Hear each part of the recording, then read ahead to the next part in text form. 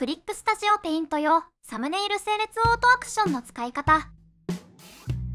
まずメニューからウィンドウオートアクションを選びます。オートアクションウィンドウが表示されたらメニューを開いてセットの読み込みを選択します。絵コンテサムネイル整列のアクションを選びます。選択したアクションが表示されます。メニューからボタンモードにしておくとワンクリックでアクションが使えるようになります。実際にアクションを使ってみます。ファイル開くを選択し絵コンテ用紙を開きます。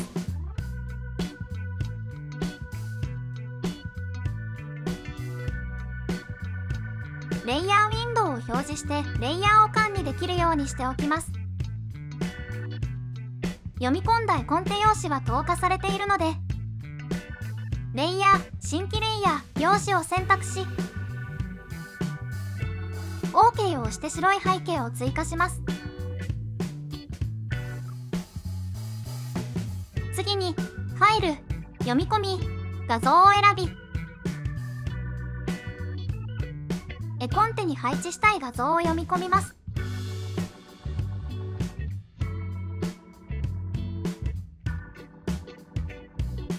画像が読み込まれたらそのままの状態でサムネイル整列のアクションを実行します。